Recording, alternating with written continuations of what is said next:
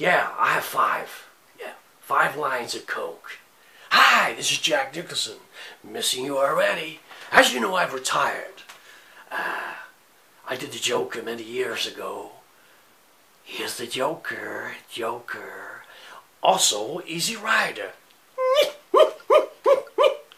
anyway, I got my my famous glasses on now, and uh, I hope to be losing weight and getting back in the movies again. Anyway, gotta go.